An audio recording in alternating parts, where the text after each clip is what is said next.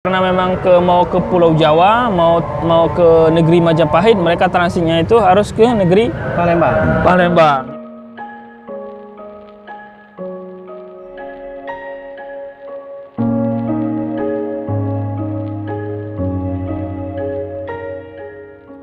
Jejak Wali Songo di Palembang. Mungkin kalau dengar Wali Songo, makin Bicek paham siapa Wali Songo itu.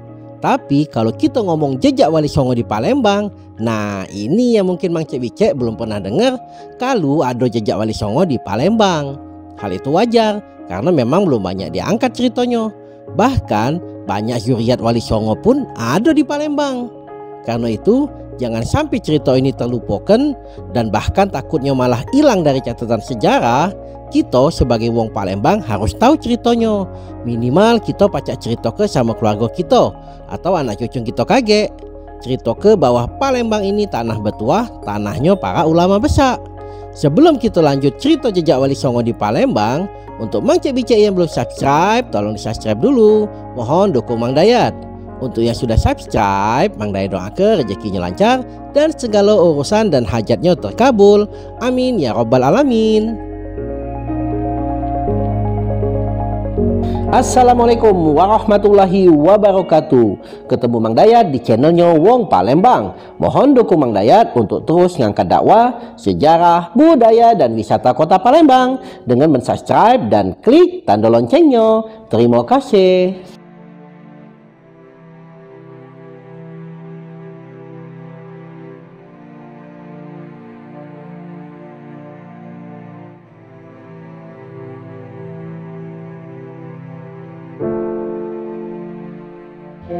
Apa kabar Mang Cik Bicek? Salam sedulur dari Mang Dayat. Kalau kita cerita soal Palembang punya cerita, rasanya udah habis-habis bahan nih.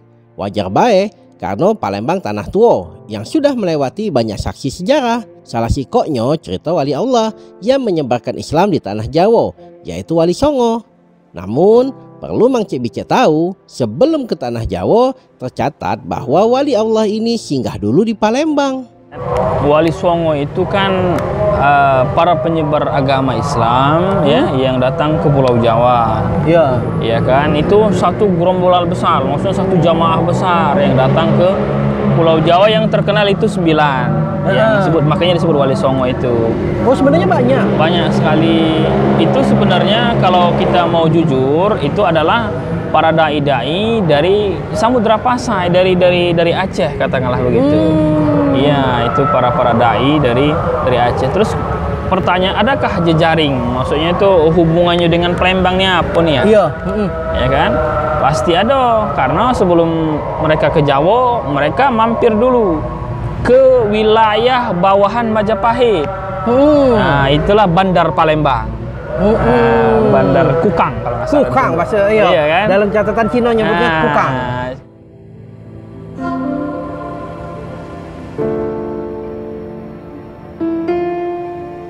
Pembahasan pertama kita mulai dari Sunan Ampel. Baik dari sumber nasional ataupun sumber lokal mencatat dan sejarawan sepakat bahwa Sunan Ampel pernah singgah di Palembang. Eh, mereka ke sini datang.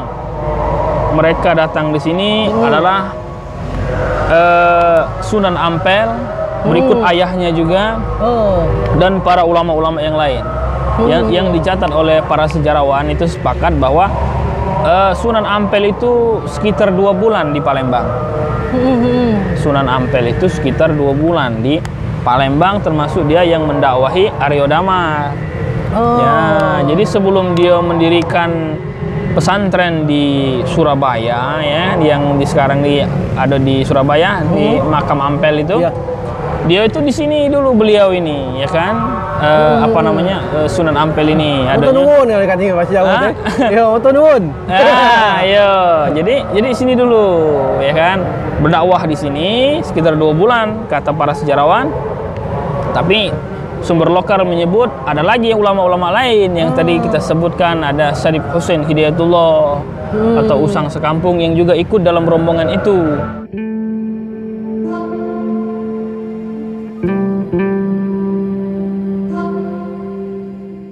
Sunan Ampel diceritakan dia datang di sini mendakwahi Aryo Damar juga disebutkan dalam sumber lokal tadi dia datang ke Bukit Seguntang Hmm. Men- mendakwahi orang-orang di Siguntang di situ kan disebutkan. Bukit Siguntang kita tahu Iya. ada kan di sini Masih Bukit- ada. masih ada sampai hari ini Mang Cek Bukit Siguntang. Nah di situ disebutkan Sunan Ampel datang ke situ. Hmm. Nah, di, di sumber lokal disebutkan selain Sunan Ampel ada juga ulama-ulama lain yang datang. Yang datang di situ yang kemudian jadi puyang-puyang kita di di pedalaman. Termasuk salah satunya adalah Syekh namanya Ibrahim Papa. Hmm. Dalam sumber lokal, Syekh Ibrahim Papa ini juga datang bertemu dengan Sunan Ampel di Bukit Suguntang.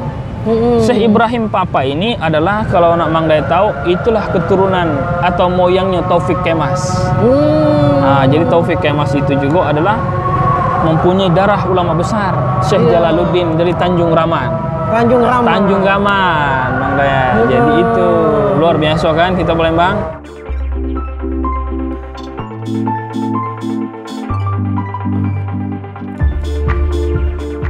Selain Sunan Ampel, catatan lokal juga mencatat bahwa Sunan Kudus punya jejak di Palembang, bahkan sempat mendirikan pondok pesantren. Karena memang ke mau ke Pulau Jawa, mau mau ke negeri Majapahit, mereka transitnya itu harus ke negeri Palembang. Palembang. Jadi otomatis lah di situ terjadi jejaring antara guru dan murid dengan Wali Songo. Yang lebih eh, dicatat yang sumber primer sekali, ini kan memang ada yang menyebutkan Wali Songo tidak kate. Enggak ada kata orang Wali Songo. Ada juga Bang Dayat yang ngomong itu. Tidak percaya. Ada alirannya. Ah, ada alirannya. memang dah Ada paham-pahamnya memang. Nah, sekarang kita buka sumber lokal. Iya. Nah, ini jelas sumber lokal. Kita baca ada keterangan di Kakas atau di Bubu Karangenim diceritakan bahwa Syekh Ja'far Sodik itu diperintahkan Raden Fatah berdakwah di Muara Inim menemani Syekh Jalaluddin. Jadi Syekh Jalaluddin bersama tiga ulama lainnya, satu di antaranya adalah Syekh Ja'far itu berdakwah di Muara Inim Hmm. mempunyai murid 40 orang. Maka disebut 40 bubungan temblang. Hmm. Nah, itu kan dari ikon Muara Enim. Ya. Artinya 40 rumah. Ini 40 rumah inilah murid dari empat ulama besar, satu di antaranya Syekh Ja'far Yang menjadi ulamanya, katakanlah yang menjadi pimpinannya itu Syekh Jalaluddin. Iya. Nah, kawan-kawannya ini jadi anunya apa namanya? Murid-muridnya dan pengajar yang lain Ya, lah. pengajar yang lain. Salah Ya. satu pengajarnya ini adalah Syekh Ja'far Sodik. Hmm. Syekh Ja'far Sodik di situ disebutkan punya 10 murid. Hmm. Jadi Ja'far Sodik ini siapa, Mang? Mang Cek? Ja'far Sodik ini adalah Sunan Kudus. Oh, masya Allah. Ah, jadi Sunan Kudus punya 10 murid di Muara ini. Masya Allah. Maka mudah-mudahan negeri Muara ini memang benar-benar diberkahi oleh amin, Allah. Amin, amin. Artinya di Muara Enim di di pedalaman Palembang itu Islam sudah mengakar apalagi di Kota di Palembangnya. kota Palembangnya ya kan begitu. Jadi di situ diceritakan bahwa Syekh Jalaluddin memimpin itu 40 orang ini. Kenapa 40 orang? Ini kan misteri. Ini bisa ditarik juga bukan cocokologi, tapi bisa dipertanggungjawabkan. Berarti bisa difahami Syekh Jalaluddin, Ja'far Sodik dan ulama-ulama yang empat ulama ini adalah bermazhab Syafi'i. Karena nak sholat Jumat itu harus 40 orang. Nah, bisa difahami Syekh Ja'far Sodik atau Sunan Kudus ini adalah bermadhab Syafi'i. Syafi'i. Juga itu Mang Dayat. Itu kaitan tadi Sunan Sunan Kudus. Sunan Kudus. Itu kita ngopi dulu Mang Dayat.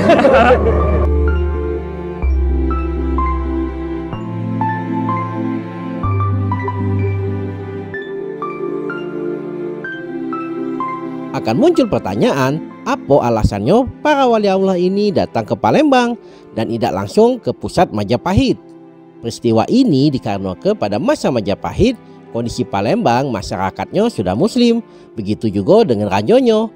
Karena itu tepat nian melalui Palembang lah sebagai pintu gerbang awal untuk memasuki wilayah Majapahit. Kedatangan Wali Songo di tanah Palembang sangat berkaitan erat dengan berdirinya Kesultanan Demak, yaitu Kesultanan Islam pertama di Jawa yang didirikan oleh Raden Fatah. Kalau ditarik sanat keilmuan dan juga periode waktu Raden Fatah, artinya dasar ilmu yang beliau pelajari di Palembang dan sanat keilmuannya juga dari Wali Songo. Setelah cukup matang, barulah Raden Fatah ke Tanah Jawa dan melanjutkan dakwah sambil meneruskan mendalami ilmu agama bersama Sunan Ampel. Raden Fatah itu dididik oleh ulama-ulama ulama dari keturunan Arab tadi saya sebut adalah Syarif Hussein Hidayatullah dan ulama-ulama yang lain yang ada di sini. Barulah ke Jawa, hmm. dia bertemu dengan kawan-kawan ulama ini tadi namanya ya. Sunan Ampel mungkin sekitar 20 tahunan, iya. 25 tahun baru ke Jawa. Hmm. Jawa. Artinya di sini sudah matang dia Mang Dayat. Dia sudah belajar tauhid, hmm. belajar fikih. Ya kan barulah ke sana lagi memperdalam iya. ilmu keislaman. Mendirikan Kesultanan Demak Aa. dan itu malah menjadi pelindung para wali-wali tadi Betul. menyebarkan Islam. Aa. Jadi ya kan? didirikanlah kerajaan Islam ini hmm. biar lebih syariat Islamnya lebih apa uh, kuat. berdiri kuat. Kalau udah kati kerajaan kesultanan kan masih lemah. Iya. Kan di, harus didirikan itu kerajaan. Hmm.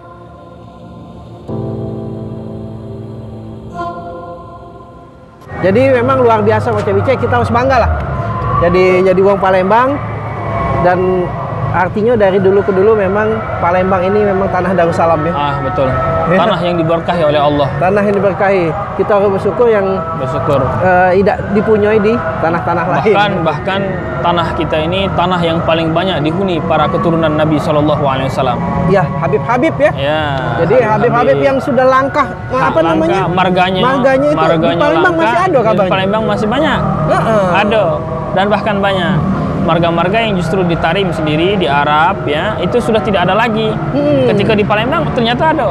Bahkan hmm. di kita ada kampung-kampungnya, ada ya, ya, ya kan ya. Kampung Menawa, Kampung Segap, Al Hadad, Al Hadad, Al Kaf, ya. dan lain-lain. Makanya ini negeri memang negeri yang luar biasa. Kita patut bersyukur.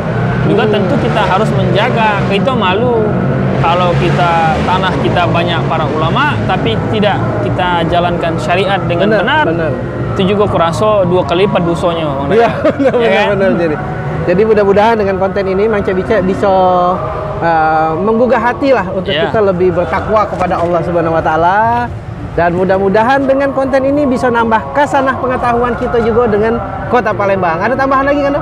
Boleh, silahkan lanjutkan. Oke, jadi itulah Mang Bica diskusi kami. Kalau ada salah-salah kata baik dari narasi ataupun video, kami memohon maaf. Kepada Allah kami mohon ampun. Wassalamualaikum warahmatullahi wabarakatuh.